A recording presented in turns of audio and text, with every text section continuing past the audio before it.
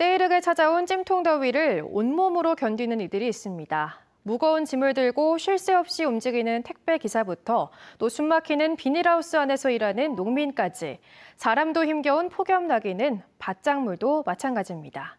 김은초 기자입니다. 우체국 택배 기사로 일하는 손혜원 씨.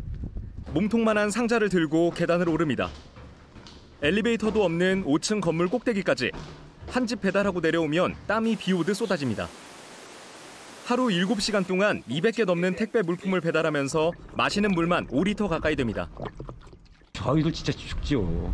숨이 헉 막히는데.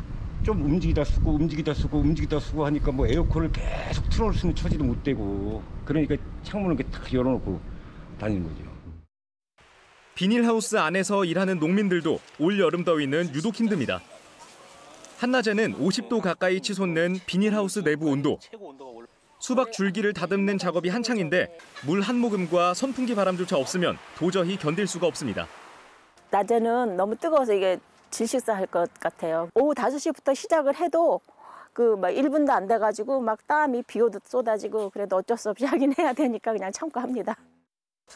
기록적인 폭염에 사람만 힘든 게 아닙니다. 수박 이파리도 더위를 견디지 못해 오그라들고 노랗게 색이 변했습니다. 겨우 열매를 맺더라도 상품으로 내놓을 수가 없게 되는데 이렇게 상해버린 수박이 전체의 30%에 달합니다. 약간 노란기도 좀 있고 그래서 많이 오그라붙는 거죠. 그러니까 물을 줘도 이게 펴지, 펴지지를 않고 땅에 지열이 많이 올라가다 보니까 어, 뿌리가 어, 거진 삶는다고 보는 거예요.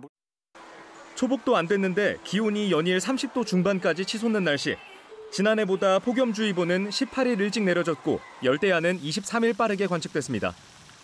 청주기상지청은 주말 사이 기온이 더 오르고 다음 주에도 습도 높은 무더위가 이어질 거라며 온열 질환에 각별히 주의해달라고 당부했습니다. MBC 뉴스 김은초입니다.